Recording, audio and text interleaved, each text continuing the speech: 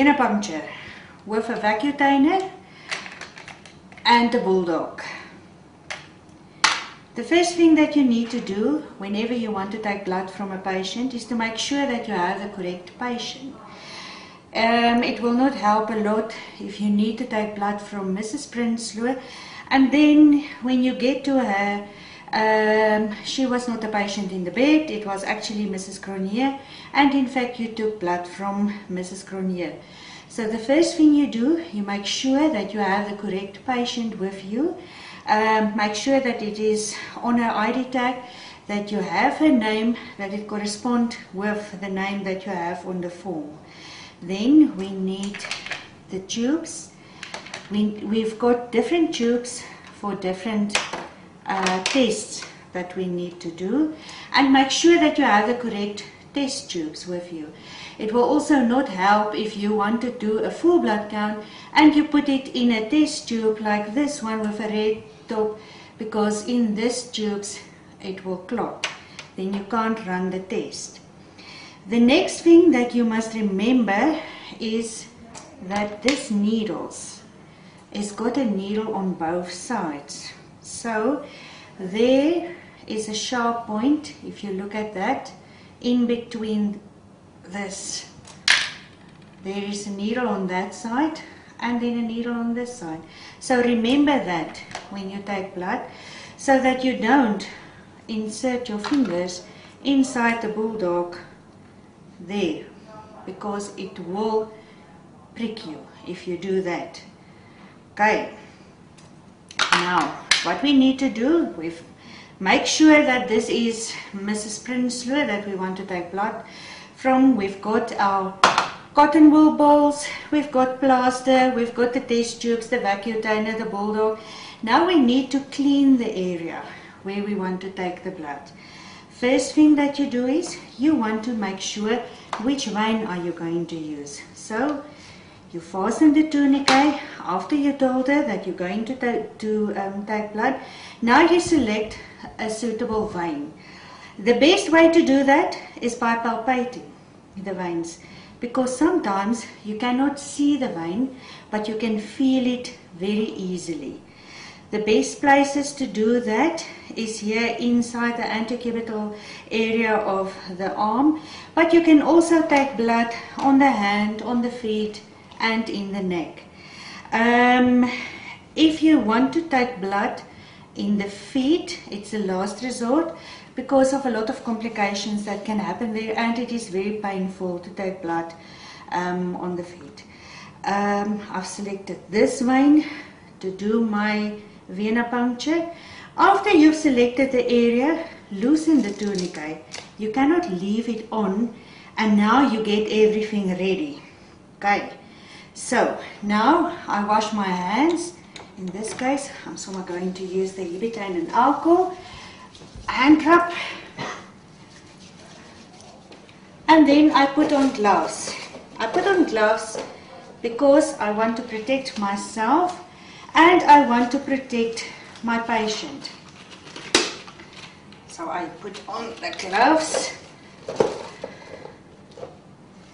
and on this side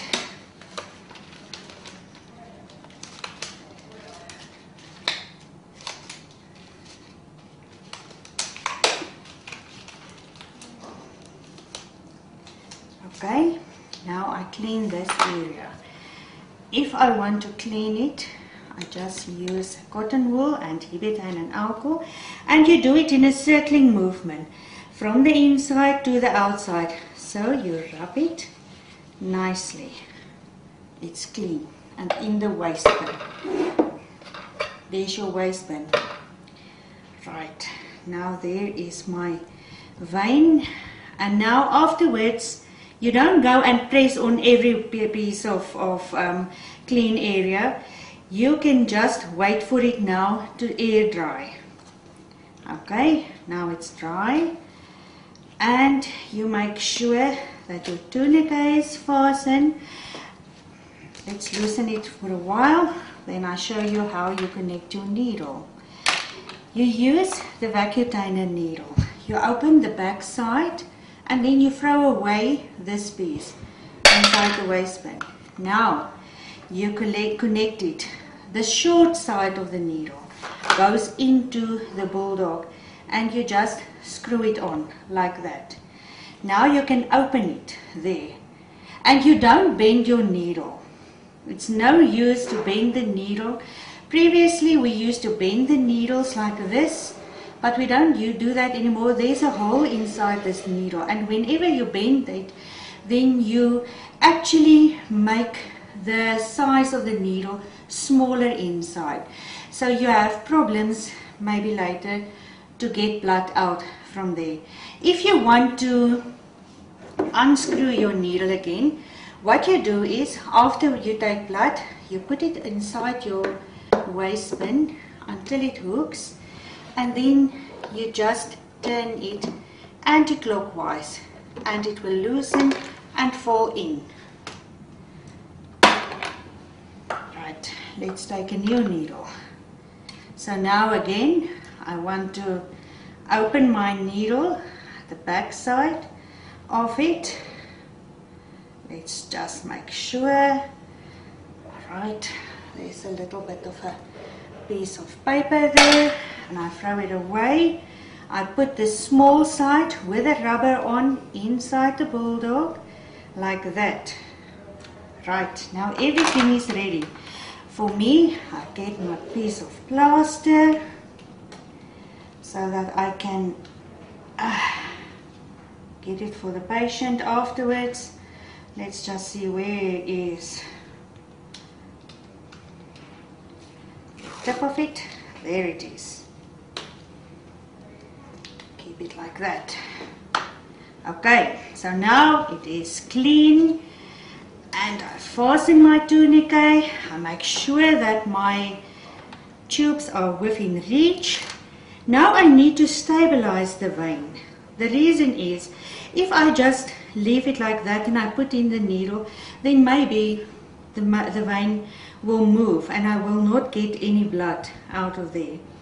The other thing that you must remember is whenever you take blood, there is a sharp edge and then um, the bevel of this needle needs to show upwards.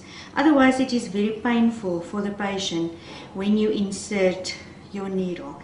Okay, so now I stabilize my vein by just pulling gently backwards and then I insert it. And you can feel when you're going through your vein. The moment that you are inside the vein, you um, just insert your tubes. If you see that you don't get blood when you insert it immediately, then you can take it out a little bit and go in again. Or you can um, push it in a little bit deeper because sometimes what happens is that the vein uh, when you when you put it in you go straight through the vein so then you just need to pull back a little bit or it can be that you have your bevel just against the wall of the, um, the vein and then you will also struggle to get any blood. Okay, so now I've put it in and I insert my tube. Okay, if you see that you don't get blood, you go back a little bit and then you just go in again. If you still see no blood, then you take out this tube because maybe the vacuum is not there anymore and you put in a new one where there may be a better vacuum than in the first one. As you can see there was a little bit of blood there so maybe it can be from going in too deep or too shallow in this case. Let's see where is the blood? All right. As you can see there's the blood coming out of your vein. You wait until it fills up completely. It will stop by itself because it's got a vacuum inside. Now you take out your vacuum tube. You tilt it a few times if you want to put in another one you put in another one just like that while still stabilizing your whole system Okay, then you wait for that one to fill. And look on the PowerPoint because there are a specific order in which you need to take the um, bloods. Now, before you take out the needle, you first need to loosen your tourniquet. Then you take your piece of cotton wool, just press it down there and take out the needle. Immediately after you've taken out your needle, you discard the needle and you put it in your um, sharps bin. If you don't have a sharps bin, if you are at a place where there is no sharps bins, then what you need to do is, before you insert the needle inside the patient, you put your cap of the needle on a place like the bedside or wherever you're going to take it, where it will be easy for you to access it with one hand. Because when you take it out, you need to recap the needle then. You never leave this open needle on the bed or on a table like that because the next moment somebody will come in and to put his hand on there and then he's got a needle stick injury. So how to recap a needle? You take one hand, you just put it inside the cap like that and you lift it up. Okay, again, you put your cap there you take your needle out here, you recap immediately. You put it inside with one hand, lift it up. Now it is closed. Now you can take it off. But remember, if you have a system like this, there's still a needle there. So until you get to your sharps bin, you don't take off the bulldog from the vacutainer needle. You keep it like this. Otherwise, somebody will come and prick himself with the other end of the needle. Okay, so that is with the needle. Now the patient. You have asked the patient to just press down on your piece of cotton wool. You don't ask him to bend his arm like this because it will increase the chances of bruising. So you just ask him to press down there and then you fasten that with a piece of plaster and while you are at the patient you make sure that you label your tubes. And you write on here the name of the person the initials of the person the surname the ID number of the person or the hospital number of the person your own signature as to you were the one taking the blood the date that you do that and the time and also, if you know what you're going to do and which tube is which one, you can also write on what test you want to do on this um, tube. So that you can also put in. And then you send it to the lab immediately. Great. Thank you.